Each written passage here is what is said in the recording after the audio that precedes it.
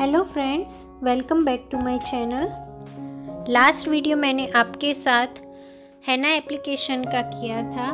तो ऑलवेज़ हम बालों में मेहंदी लगाने के बाद हैवी हेयर ऑयलिंग करते हैं। तो आज की वीडियो में heavy hair oiling step by step कैसे करते हैं, वो मैं आपके साथ शेयर कर रही हूँ। अगर आपको मेरा ये वीडियो पसंद आता है तो इसे लाइक कीजिए कमेंट कीजिए और मेरी चैनल को सब्सक्राइब कीजिए।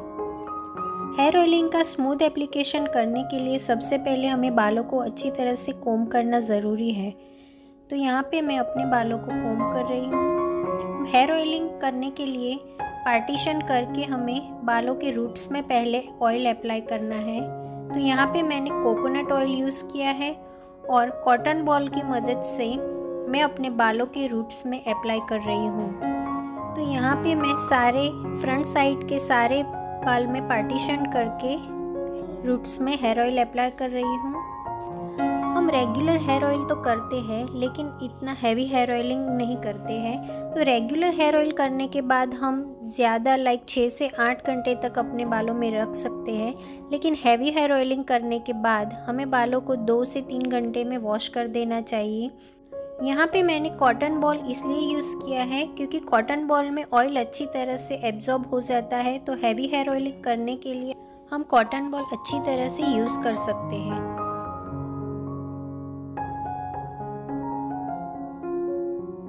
आप यहाँ देख सकते हैं कि कॉटन बॉल की मदद से कितना अच्छी तरह से ऑयल स्प्रेड होता है और रूट्स में भी अच्छी तरह से ऑयल एब्जॉर्ब हो जाता है। मेहंदी लगाने के बाद जब हम बालों में हेयर ऑयल करते हैं तो हमें एक बात का ध्यान रखना है कि हमें ज़्यादा मसाज नहीं करना है, लेकिन डैप डैप करके ही हमें ऑयल लगाना है। तो यहाँ पे मैंने सारे रूट्स में ऑयल अप्लाई कर दिया है, और बालों की लेंथ में ही लगाना बाकी है। तो बालों में लेंथ में लगाने के लिए मैंने यहाँ पे दो कॉटन बॉल यूज़ किए हैं और यहाँ पे उस टेक्निक को हमें यूज़ करना है जैसे हम बाल स्ट्रेटनर से स्ट्रेट करते हैं। तो थोड़े थोड़े बाल लेके यहाँ पे मैं दो कॉटन बॉल के बीच में स्ट्रेटनर के जैसे स्ट्रेट करते हैं, उस तरह से उस डिरेक्शन में मैं ऐसे स्प्रेड कर रही हूँ। तो उससे क्या होगा कि कॉटन बॉल में जो भी ऑयल होगा वो सारा बालों की लेंथ में अच्छी तरह से स्प्रेड हो जाएगा। अगर हम रेगुलर हेयर ऑयलिंग करते हैं तो उसमें हम दोनों हाथ में लेके ऑयल बालों की लेंथ में लगाते हैं। लेकिन यहाँ पे हमें हैवी हेयर ऑयलिंग करना है। उसके लिए मैंने कॉटन बॉल यूज़ किया है तो उससे हैवी हेयर ऑयलिंग इजीली हो जाएगा। यहाँ पे आप देख सकते हैं कि मैं बालों के एंड्स में भी अच्छी तरह से ऑयल स्प्रेड कर रही हूँ। तो जब भी आप भी हेयर ऑयलिंग करें तो बालों के एंड्स में हेयर ऑयलिंग करना कभी भी मत भूलें। क्योंकि बालों के एंड्स हमेशा थोड़े से ड्राई और रफ हो जाते हैं तो हेयर ऑयलिंग करने से बालों के एंड्स को मॉइस्चर मिलेगा।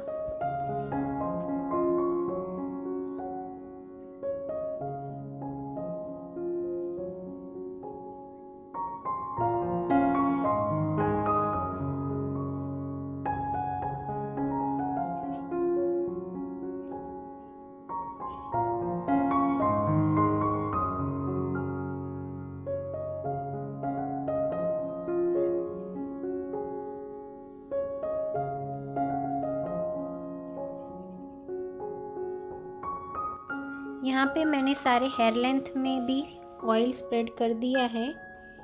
अब मैं अपने क्राउन एरिया में थोड़ा सा ऑयल ड्रॉप कर रही हूँ और आप सुन सकते हैं कि उसमें जेंटली मैं पैट कर रही हूँ। ऐसा करने से ऑयल अच्छी तरह से हमारे स्काल्प में एब्जॉर्ब हो जाता है और हमारे स्काल्प को हेल्दी भी रखता है।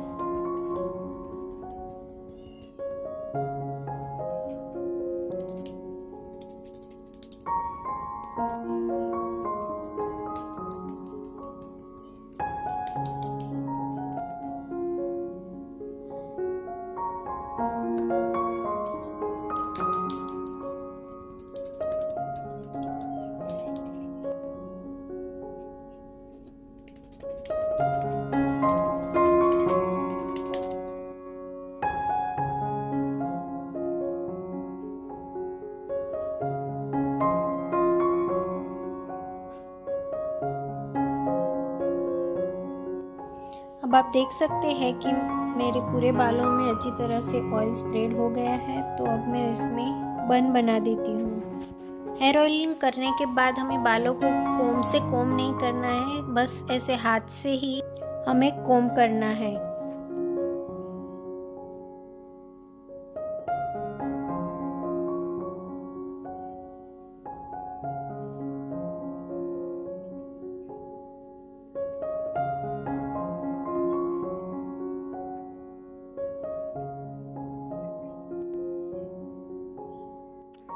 हेयर ऑयलिंग करने के बाद अब ऐसा बन बना के मैं इसे प्लास्टिक के रैप से कवर कर रही हूँ। ऐसा करने से हमारे कपड़ों में स्टेन भी नहीं लगेगा और स्काल्प को भी थोड़ा रिलैक्स मिलेगा, ऑयल को भी थोड़ा एब्जॉर्ब होने में थोड़ा हेल्प मिलेगा।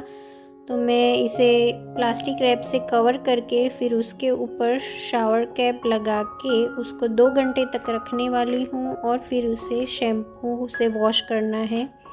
तो ये था मेरा आज का हेयर ऑयलिंग का वीडियो अगर आपको मेरा ये वीडियो पसंद आया हो तो प्लीज़ उसे लाइक कीजिए शेयर कीजिए और मेरी चैनल को सब्सक्राइब कीजिए। Thank you for watching